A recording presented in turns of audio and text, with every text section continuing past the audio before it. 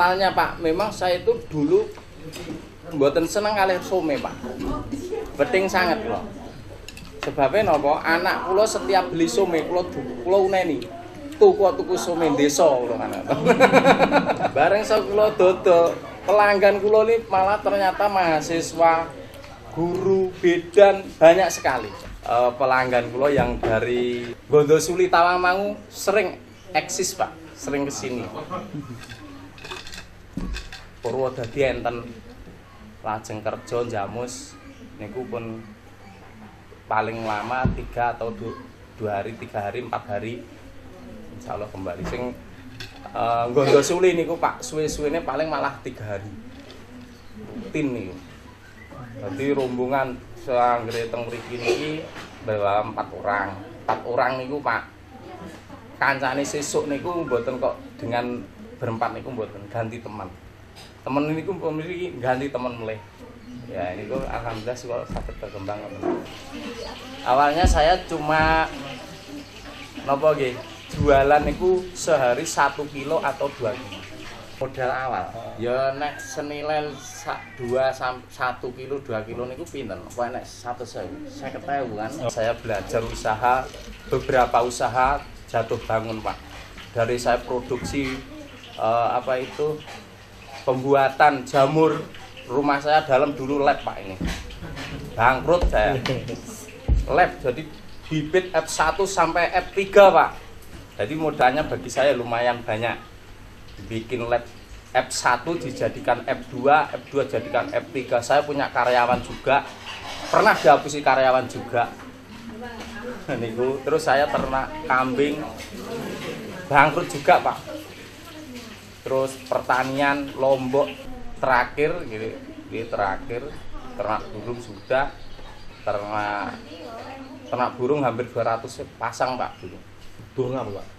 burung ya parkit lapet Hmm. jadi sangat-sangat berpengalaman supir truk juga lama Jakarta Blitar hampir 10 tahun terus terakhir ini pak saya di di Someni sambil di kerja di penjaga SMP Negeri 1 Mojogedang. Jadi kalau mboten minder, Pak.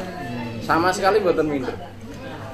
Nek misalkan untuk pengembangan tempat niku umpamane gampangane niku jatuh bangun. Niku kan masih bisa dinikmati sendiri, so ditempati ki Mbak. Ning nek mung some ya mudah-mudahan Allah paring ke depan ini lebih eksis lebih lancar ning yang sudah berjalan itu lancar Pak.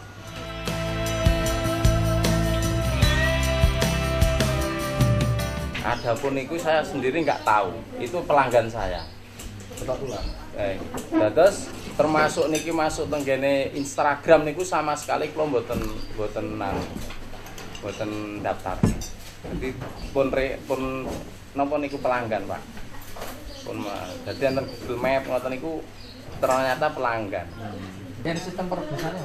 Nen? perebusan. Biasa didang biasa, mboten napa-napa. Nah, Didang waktunya waktunya apa semakin lama semakin bagus. ndak Maksudnya setengah jam. pokoknya masak makanan niku nek wis mateng wis nek semakin lama semakin delodor puhung mah bodok delodor kayak tentang aduan niku baik dan tidaknya lama dan tidaknya nek nek ngadu iki mung sedilit ya ora mungkin iso dadi lentur nggak mungkin jadi sekali ngaduk rata-rata gandum kering 15 kilo sekali Nah, sekali ngaduk 15 kilo Dua kali.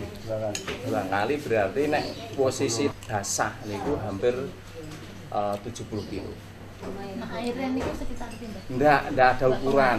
Jenengan banyu misalnya jenengan seli anu napa niku banyu terlalu garing ya mboten iso diaduk.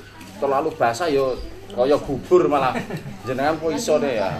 Eh, Terus rasanya iso pas niku karena pengalaman terbiasa. Jadi kula belajar merasakan niku Pak, niku ora cukup tiga bulan.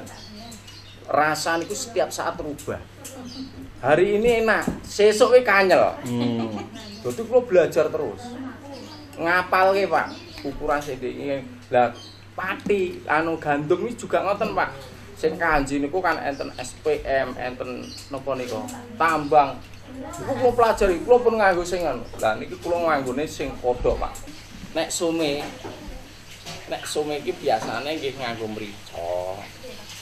Bawang, nggih ngoten niku to. Terus uyah, nek kayak penyedap rasa nek parimoto apa roiko. Iki tergantung. Tergantung Selera. Ku waman adukan niku dereng ditang kan jikur saithing ngeten. Dilat gamane ngrasakne iku ora kok terus dipama-pama ora tanpa rasa enggak. Rasaan juga dirasake. Jadi diler-ler-ler wah wis masuk. Udah. Nek kurang asin tambah uyah ngoten mawon.